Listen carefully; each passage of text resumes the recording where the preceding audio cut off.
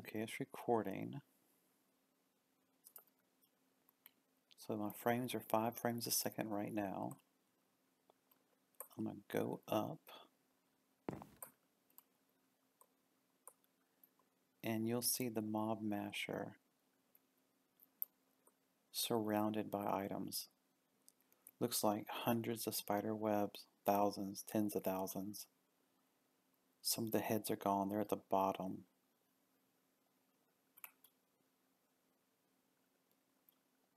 And if I go to my storage container, you'll see it's full of pretty much single items. And it's only taking away four at a time because it's the max speed it can do without any upgrades. So if I grab these out myself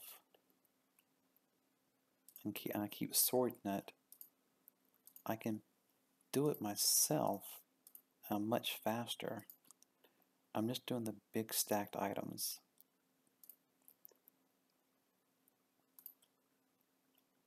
But when you have hundreds of stacks like you're going to see in the video, it takes God. Oh, forever. I mean, just that's just in what 30 minutes we had that built running.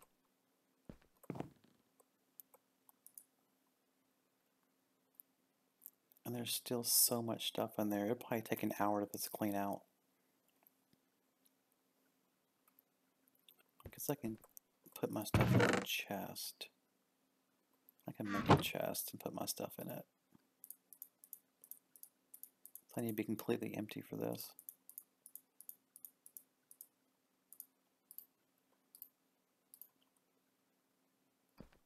Let's make another chest right here. Because I don't want to lose my stuff, of course. There we go. So I go over here and I just grab all that I can. Whoop, whoop. I'll come over here and empty it.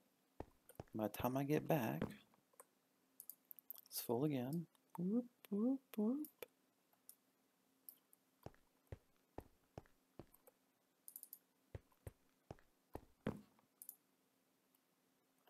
These items won't go away because what they are.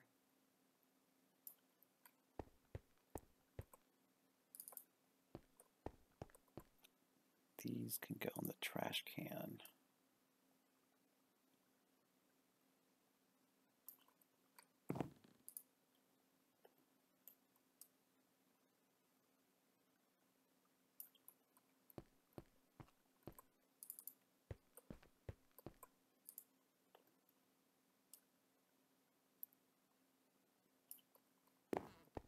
And this will give you a good idea just how full this thing is. If I climb up here now,